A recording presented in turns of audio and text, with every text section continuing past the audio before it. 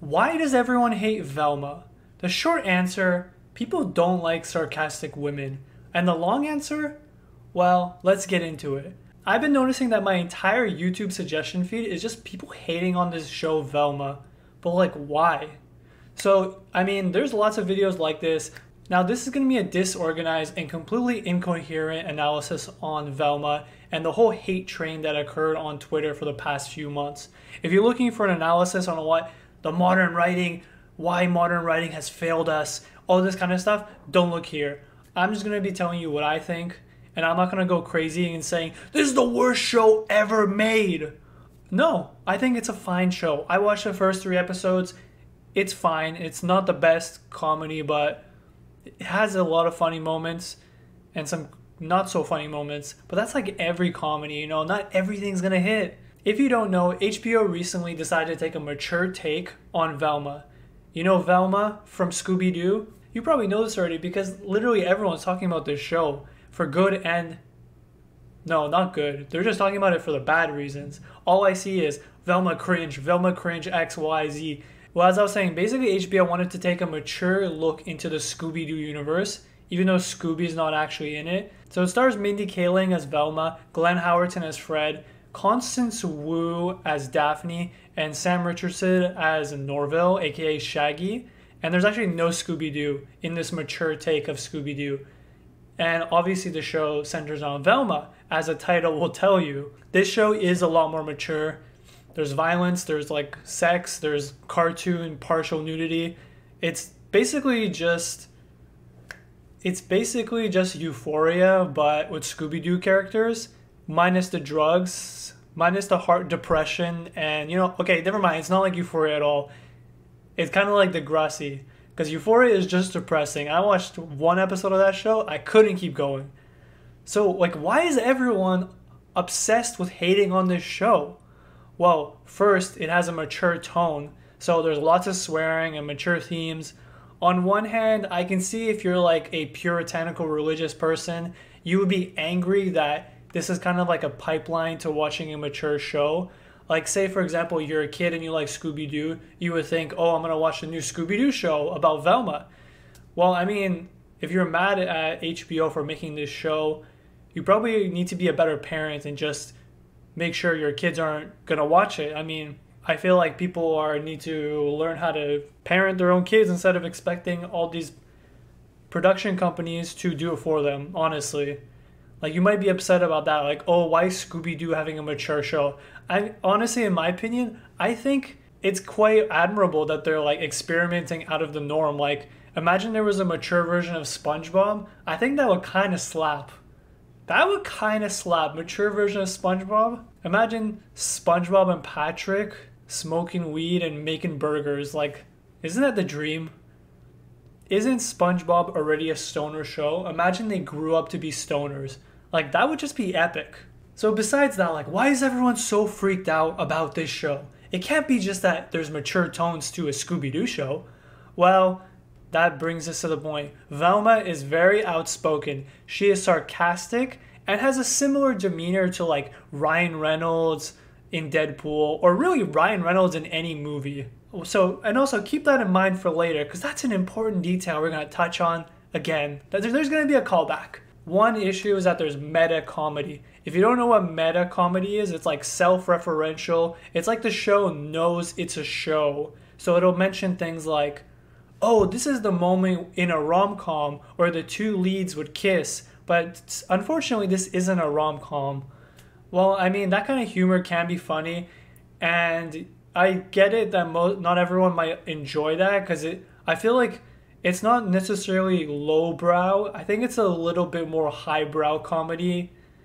I don't know. It's tough to say. It's kind of like f- comedy for people who pay attention to these kind of things. Like if you just want like a Big Bang Theory where the jokes are so obvious, then sure. Like for me, you know, I was always ride or die Community when Community and Big Bang were airing at the same time.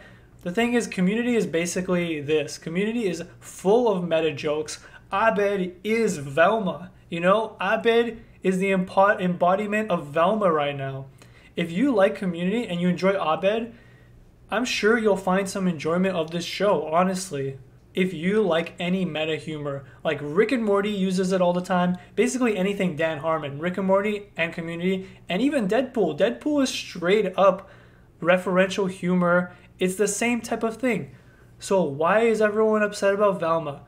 Well, I think the root of it is that people well, there's a number of things. For one, Velma is very politically leaning. It's it's basically a lot of Twitter talking points thrown at you through the mouthpiece of a female lead, from a lead that is a woman.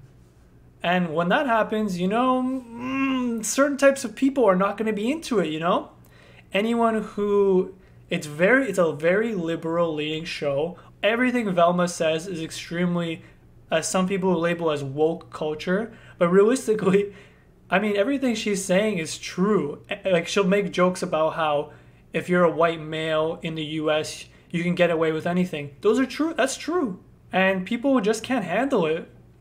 Like, let's look at an example of some Velma hate that I found online.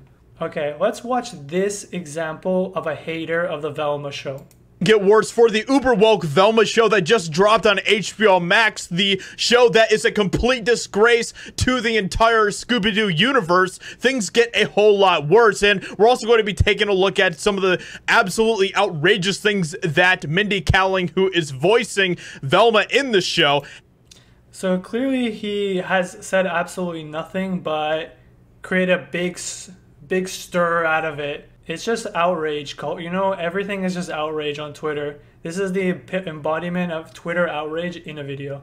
Let's see this part. I watched some of this video. So we're going to get into some of that as well. So we have here this clip. If I were a rich white dude, I'd kill everybody just to get away with it. Yeah. Yeah, so so that's you know, and the, the hilarious thing about this is that pretty much everyone has united in saying the show is absolutely terrible. Okay, the show currently sits at so that dude just said a whole lot of nothing. Wow, wow. What so what what did what part of that did you find offensive, my guy? What part of that didn't you like? Because as I mentioned before, she's totally right. White people have a lot of privilege in the US and they can get away with anything basically. Like, bro, you got to accept that. and he just goes, "Wow, wow. We everyone's unanimously acknowledged that this is a terrible show." As he's showing People are mad at this show and review bombed it. Are you really telling me that the audience score is 7% makes any sense? Tomato meter, this is critics rating, 53%. I think that's perfectly fine. It's not the best written, it's not the best show ever. Realistically, I mean, it's a cartoon. What cartoon is getting like a super positive rating from critics? It's ridiculous to think like this is gonna be like some Emmy worthy show. It's a cartoon. Tell me what the rating critics give to like normal Scooby Doo show. They probably don't even rate it whatsoever because it's not worth their time. But audience score of 7% is a ridiculous farce of a review from all these snowflake people who cannot handle a female lead.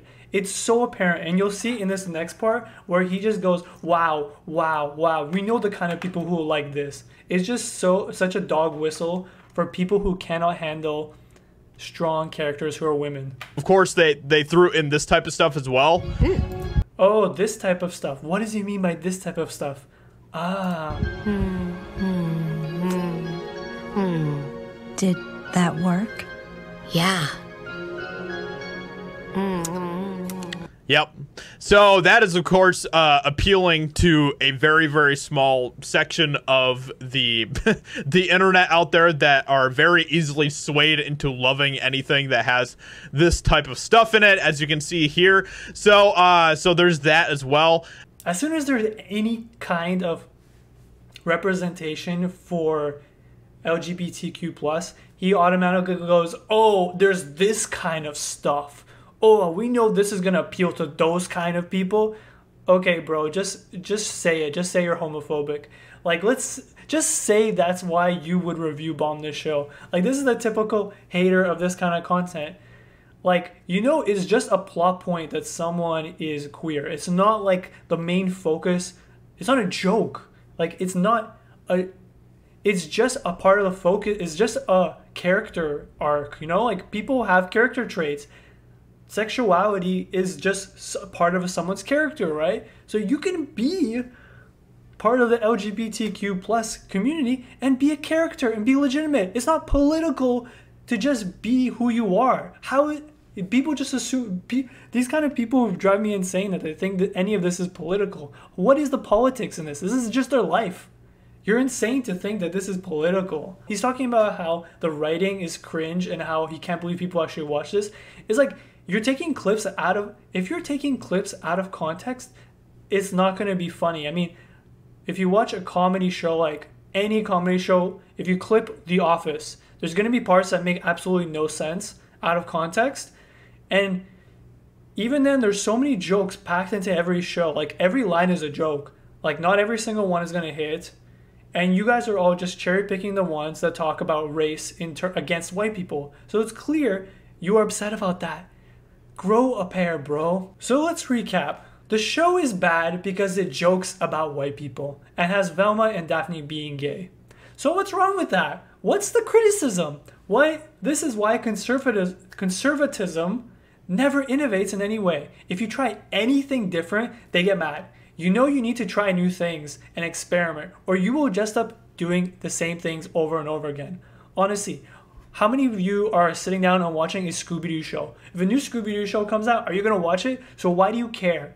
This is all just moral outrage. This is just outrage. I mean, I'm not gonna lie, this dude, it's an easy clap for more content. I'm doing the same thing, right? I'm talking about him being such a bigot. It's just a circle of of it's just a circle of discourse, you know, like one person says something, the other person comments on that, you know, but this is just content for them. But it also has a negative impact on society, you know. People are gonna think, oh, can I watch a, a show with a, a comedy where a woman is leading it?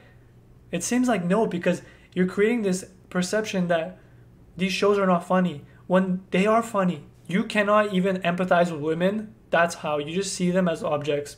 The problem is you just cannot empathize with anyone that isn't a man. Like if this if Velma was starring like Adam Sandler and had the same lines, you would probably love it.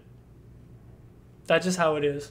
Like let's get to that, you know? Like I have you know, I have a friend who I always found this weird. He would mention, oh, that he hates Deadpool and Borderlands, the video game style comedy. And I never understood that because I actually liked those franchises and I thought they were kind of funny. And then I was thinking, those basically have the same comedy style as like Velma and She Hulk. And I'm going to talk about this game, Forspoken, that recently came out. And She Hulk is honestly a good show. I actually like She Hulk. She Hulk is pretty funny. Like, it's not it's not gonna hit every like every second of it is not amazing, but it is funny. It's just a sitcom. It's like if they just took Modern Family and just had She Hulk as the star instead. It's a funny show. And if you hate on She Hulk, like you're just sexist. Like honestly, like you can dislike it if you don't think it's actually funny. But if you just hate it flat out because it's starring a woman, then that's just stupid. You're just limiting yourself to comedy at all. Like if you can't name like any comedians who are women, then there's something wrong with you. Then that's just a clear sign, man. Come on. This dude, he's cringe. Like let's look at a Velma cringe compilation. That should tell you something also that there are Velma cringe compilations. And I didn't find any of it cringe. It was just normal stuff. My name is Velma Dinkley. No, it's not. Sure. Where's the cringe there? How is that funny? Normally, origin stories are about tall, handsome guys struggling with the burden of being handed even more power. Yeah, it was me, not Fred That's true. You watch Riverdale or any of these CW shows? Like, what is and is his the weird cringe? sex fan. And how do you feel about race blind casting, Daphne? I wasn't expecting such an enlightened answer from such. A bitch. You almost killed me! Guess I didn't try hard enough. Uh, got. Okay, if you take any of these, these are all so out of context that doesn't make any sense. So how is any of this cringe? Like, I'm not cringing at any of this. It's not real if you two morons are running this investigation. I'm a suspect? I thought lesbians were good at solving crimes. It's like the one positive stereotype perpetuated by cop shows. No, because I. See, that's the meta humor that people don't like. But I think if that was in community and Abed said it, I would laugh. I'm laughing. Like, that's a smart line. I think people just hate Mindy Kaling. And I feel like people just hate when women are funny. Like, if you're a woman, you can't be funny. Like, it's unallowed by society. It's not allowed by society. Like, Velma being cringe for nine minutes. And as you can see, like, I'm not cringing at all. There's no cringe. It's it's like the discourse on Twitter is insane. It's like anytime there's a women-led show, if anytime there's a comedy where the lead is a woman, it's just like controversy. It's like political. Everything becomes political. She-Hulk is political because it's a She-Hulk. Like, where's the politics there? Why can't women be funny? If you don't think women are funny, you have serious mommy issues and you need to get over it. You need to learn how to empathize with women. You're an incel. That's just it. You're an incel and you need help. Like I don't you there's nothing you need to learn to understand women and ah, and also you might notice that every single show that is led by women is review bombed. Every comedy that's led by women is review bombed. She-Hulk re- review bombed. Captain Marvel review bombed and Velma review bombed. There might be something in common there. What's the commonality there? Hmm, hmm, hmm, hmm, hmm. It's a community that has majority men, uh, Marvel or like gaming. Anytime it's like, anytime it's like superheroes or gaming or anything like that, review bombs. You know, crazy review bombing because they're just insecure. And like, let's look at another example. Let's look at Deadpool. Deadpool. Let's look at some Deadpool clips. You notice how it's called Deadpool funny moments instead of Deadpool cringe. I searched Deadpool cringe, nothing came up. There was nothing about Deadpool being cringe. Shit. Does Okay. rhyme with pulverine. Rich Corinthian leather. I've never said this, but don't swallow. So bad guys can't see me bleed. This guy's got the right idea. He wore the brown pants. You see, it's like the exact same type of humor. Sarcastic humor, super sarcastic, obnoxious. It's the same exact type of humor. I feel like if Ryan Reynolds was playing Velma, literally everyone would love the show. It's so ironic. Like Deadpool humor and Velma are the same. Let's take another example. This is a recent example. This game Forspoken came out, and honestly, there was like a huge thing about it. I will say it is extremely the writing is annoying, but I feel like literally if De- if Ryan Reynolds was playing this, everyone would find it fine. Everyone would enjoy it. Yo, look at his PS2 ass graphics. Did I just do that? Well, definitely with my assistance. I did not just do that. We did. I just moved shit with my mind. Perhaps our connection has somehow awoken some abilities. I just moved shit with my mind. I just keep hearing I, I, I. I just moved shit with my freaking mind! Yeah, okay, that is something I do now. I do magic, talk to sentient cuffs, kill jacked up beasts. You know what? I'll probably fly next. Now you're just being ridiculous. I just move things with my mind. Did I just move things with my mind? Yeah, that was pretty bad, but you know, I don't think it deserved as much hate as it got online. Like, it's kind of cringe. Like, I mean, if you watch anime, all dialogue in anime is hella cringe. Like, every game out of Japan, I feel, has a really cringe dialogue. Like, even Metal Gear is pretty cringe. It's not on the plane of reality. You see, there's a commonality. My boy Ryan Reynolds, Deadpool. My boy Deadpool, he got Deadpool funny moments. And it wasn't called Deadpool cringe. It's like everything that has a women lead actor is cringe if they're trying to be funny. Like Forspoken, so many clips out of context, like online on Twitter. I felt like that was a perfectly that one was a bit cringy, but I've seen other ones where like, oh my god, look at this one. And I just thought it was fine. I don't know why people were upset about it. This kind of humor has been around all the time. I mean, it's literally Deadpool. It's the same thing as Deadpool. Deadpool is as cringe as any of these other things, but people give it a pass because they love Ryan Reynolds and it's a male lead. Deadpool, if you think She Hulk, Velma, Forspoken are cringe, then ipso facto, Deadpool's cringe too, and you must accept it. If you come to that reality, I will forgive you for not liking these things. And I'm not saying you have to like Velma, like you don't. But you should understand that you can give it a chance. You don't have to just watch like one clip on Twitter and just immediately make up your mind, like that dude we watched. Honestly, and to, to review bomb, you near seriously need to touch grass if you're review bombing a show or anything. Like, what is wrong with you? If you're review bombing, touch grass. What do you think? Is there a conspiracy against TV shows and movies with lead, with lead actors who are women? Will we ever get a comedy led by a woman that isn't review bombed on Twitter for being cringe? Like, if you think there's any recent examples, like within the last two years, let me know in the comments. Like, I honestly don't know. I feel like every movie with a female lead in the past few years, like during the Twitter time, has been absolutely review bombed if it's even remotely like sarcastic. If it has this sarcasm factor of like Ryan Reynolds, but as a woman, it's just review bombed to oblivion. But let me know what you think in the comments and follow for more. I'm going to make more videos kind of like this. And then I'm also going to be posting all my shorts. If you're not following me, I post a lot on TikTok and Instagram. And I'm going to start making more YouTube videos like this. So thanks for watching.